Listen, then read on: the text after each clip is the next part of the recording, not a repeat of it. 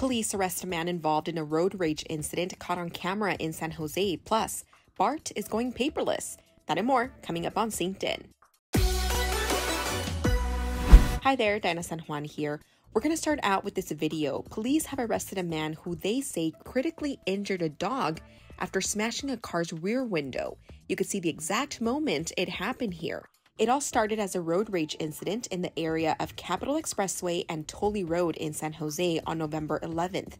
Police say two men in a car initiated the road rage incident with another car that was being driven by a man who had a woman and two dogs in the car.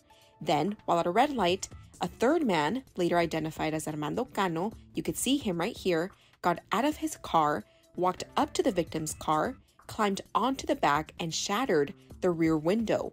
Some of that glass got into one of the dog's eyes. Police arrested Cano on November 22nd, and he was booked into jail for felony vandalism, battery, and animal abuse. Well, guys, if you ride the BART, you're going to want to listen to this. Paper tickets are now a thing of the past. Starting Thursday, BART is paperless. The transit system is moving to a Clipper only payment system.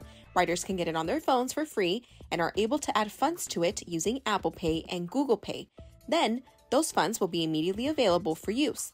The change comes as BART begins to roll out new fare gates that won't be compatible with paper tickets.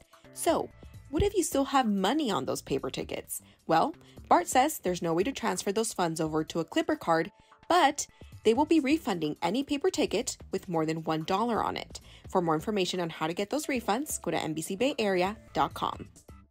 All right, well, we've all seen all kinds of influencers on social media, right? Well, I want to talk to you about one that makes us Bay Area proud. Meet Andy Wang, who goes by Pengweather online. He has traveled across the Bay Area cleaning out illegal dumping sites. He then uploads time lapse videos and before and after pictures like the ones you see here. And his content has actually gotten a lot of attention. It's like an art, seeing the before and afters. I've seen people, you know, post kind of what they've been doing for their neighborhoods and the stuff that they've been doing to try and keep their neighborhood clean. And it just it really feels nice to know I've inspired. Well, he's inspired them so much that he actually got a group of people out to Livermore to do a cleanup this past weekend. He hopes others will make an effort to keep the Bay Area clean. For the full story, go to NBCBayArea.com slash Bay Area Proud.